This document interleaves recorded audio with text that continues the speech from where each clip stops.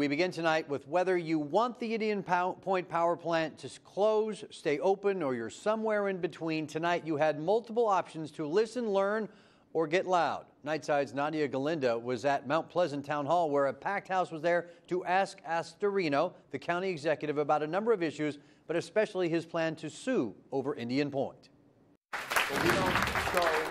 It was standing room only at the Mount Pleasant Town Hall for the third Ask Astorino event this year. One of the hot topics, Indian Point Energy Center. While many booed Westchester's County Executive Rob Astorino's stance to keep it open, others agreed with him. Where are we going to get the energy from?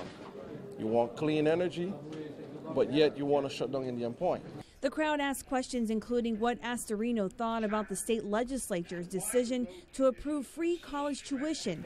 He says he's against it. The ripple effect is going to be one that it might be a good program, it might be a worthy program. I'm not even going to get into that. I'm just going to tell you, it ain't free. Things got heated when workers with the Transportation Workers Union asked if Astorino would approve a Democratic proposal to guarantee five days worth of paid sick days. We've got to have a balance.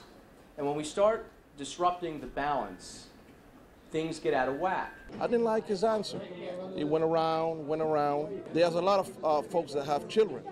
You know, we have our kids that they sick. Now, how are we going to take care of them? Reporting in Valhalla, Nadia Galindo, News 12.